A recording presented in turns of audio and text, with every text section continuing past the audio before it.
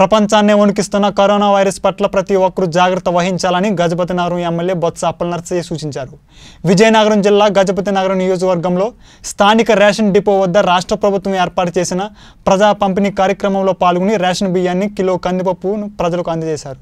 Corona నియంత్రణలో భాగంగా అమ్మకందారులకు మరియు వినియోగదారులకు పలు సూచనలు చేశారు. అలాగే సాలూరు నియోజకవర్గ ప్రాంత ప్రజలకు కూడా జాగ్రత్తలు చెప్పారు. ఇంట్లో ఉండండి కుటుంబంతో సరదాగా గడపండి మాస్కులను ధరించండి. అత్యవసరమైతే తప్ప ప్రజలు బయటకు రావద్దని యువకులు అనవసరంగా బయట విచ్చలవిడిగా ద్విచక్ర వాహనాలతో తిరగరాదని తిరిగితే చట్టపరమైన చర్యలకు బాధ్యులవుతారని విదేశాలు మరియు పొరుగు రాష్ట్రాల నుంచి ఎవరైనా కొత్త వ్యక్తులు వస్తే సంబంధిత అధికారులకు వెంటనే సమాచారం అందించాలని వేడుకున్నారు. ఇటలీ స్పెయిన్ చైనా దేశాల వలె మనం ఇబ్బంది పడకూడదని రష్యా కొరియా దేశాల వలె కరోనా మహమ్మారిని మన దేశం నుండి కట్టడి చేయడానికి కేంద్ర రాష్ట్ర ప్రభుత్వాలు కట్టుదిట్టమైన చర్యలు చేపడుతుందన్నారు. ఈ నెలాఖరులో రేషన్ కార్డుదారుడికి ఉచితంగా బియ్యం కందిపప్పు ఇస్తామని వచ్చే నెల నాలుగవ తేదీన ప్రతి ఇంటికి వాలంటీర్ వచ్చి వెయ్యి రూపాయలు ఇస్తారని కేంద్ర రాష్ట్ర ప్రభుత్వాలు ప్రజల సంక్షేమం కోసం కృషి చేస్తున్నాయని కావున ఎవరూ ఇల్లు విడిచి బయటకు రావద్దని ఎమ్మెల్యే రాజన్నదర్ తెలిపారు.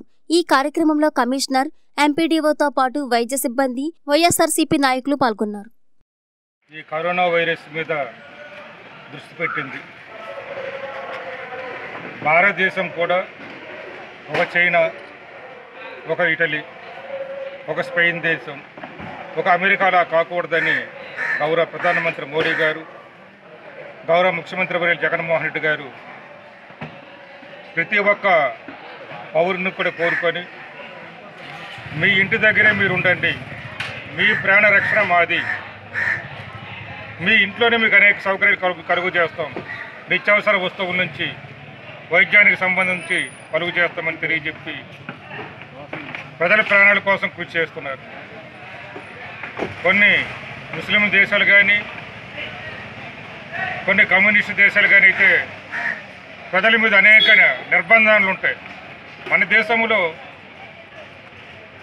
గౌరవ ముఖ్యమంత్రి గారు ప్రధానమంత్రి చెప్పింది ఒకటే ఏ ప్రజల్ని ఇబ్బంది పెట్టడం లేదు.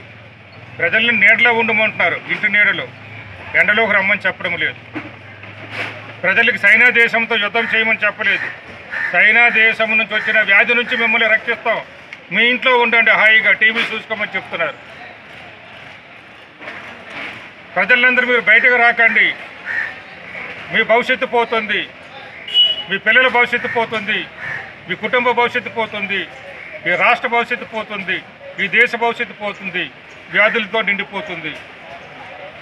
మీరు నీడలో ఉండి మీ ఇంట్లో ఉంటే ఈ ప్రభుత్వం మీకు ఏమి కావాల్సిన చేస్తుంది?